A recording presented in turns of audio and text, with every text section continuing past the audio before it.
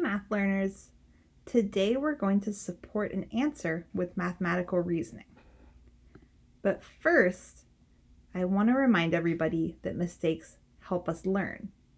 And the reason I want to remind you of that is that I made a mistake in the video yesterday. I didn't check carefully and I had accidentally used a number from a fourth grade problem. So one of the answers I told you in the video yesterday wasn't correct. And some of you pointed that out to me, so thank you. I learned that I need to check my slides before I make a video.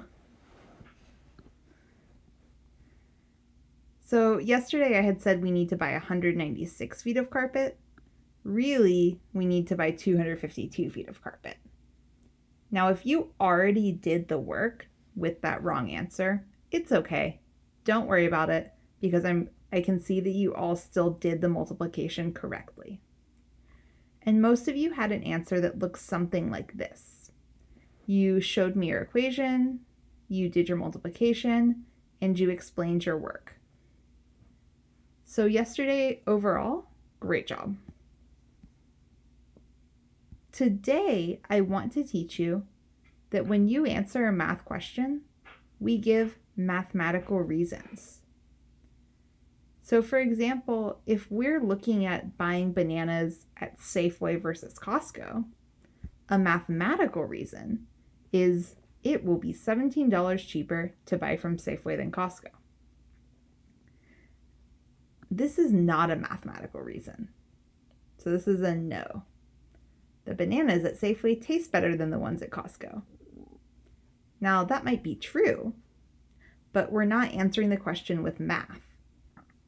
So today we're going to answer another question.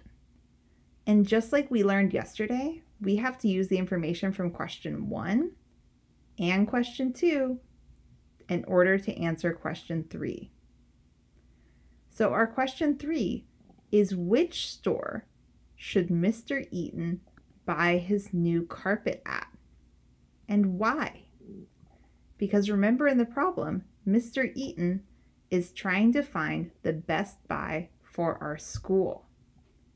So this is a sentence you could use. You could say, he should buy his carpet at mm because mm. And don't forget, you need to give a mathematical reason. Y quería añadir una nota para las personas que todavía están aprendiendo inglés. Si tú no entiendes bien la pregunta, avísame y pregúntame antes de comenzar a trabajar. Porque ayer dos personas hicieron mucha buena matemática, pero no se trató de la pregunta correcta, lo habían entendido mal. Entonces, si algo no queda claro, pregunta, simplemente. So again, the question for today, number three, Which store should Mr. Eaton buy his new carpet at? And why? Ready? Let's go.